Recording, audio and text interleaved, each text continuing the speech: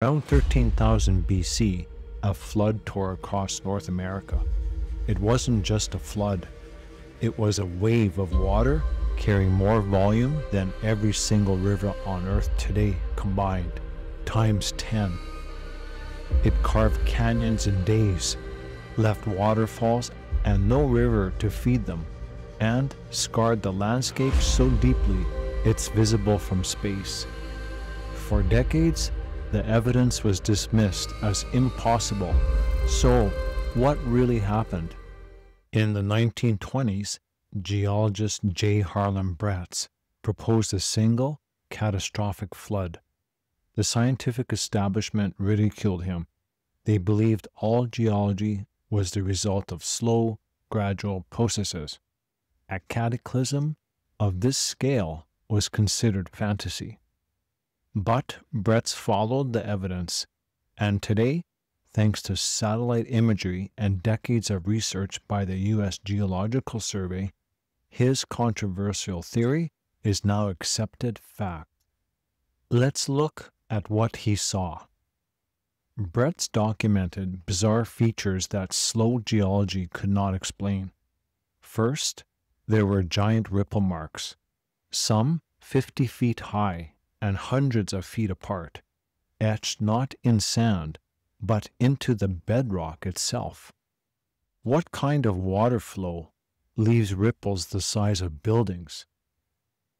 Then there were the erratic boulders, rocks the size of houses, native to the mountains of Montana and Canada, scattered across Washington.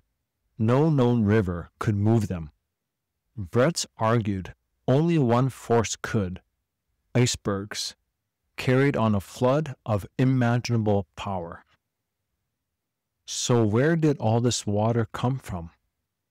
At the end of the last ice age, a finger of the Cordilleran ice sheet crept south and dammed the Clark Fork River in what is now Montana.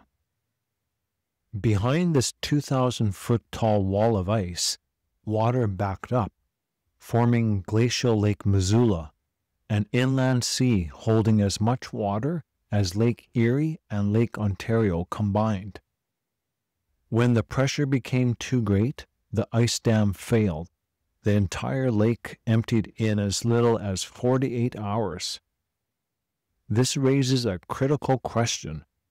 Were people there to see it?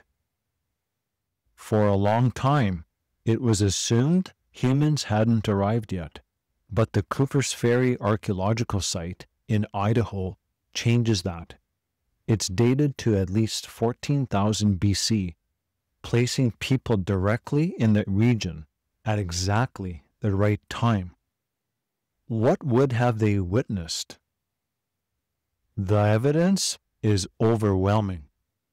A scarred landscape visible from orbit a waterfall three times wider than Niagara, with no water, ripple marks 50 feet high, boulders moved hundreds of miles, and confirmed human presence right on the doorstep of the flood zone. Geologists now believe this cycle of damming and flooding happened dozens of times over several thousand years. The channeled scablands are more than a geological curiosity. They're the physical memory of a genuine apocalypse, an event that would have wiped the landscape clean.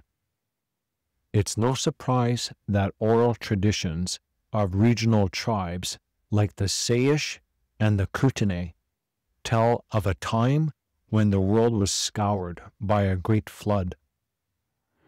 It raises the question are the countless flood myths from around the world simply stories, or are they the faded memories of real events like this one? That's it for today's video, folks. See you next time, right here on Documentify TV.